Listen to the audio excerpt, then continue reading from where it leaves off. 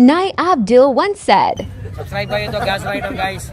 Pag wala kayo ng gas, pag wala kayo ng gas, message mo na lang dyan para meron siya ng gas. Thank you, Idol.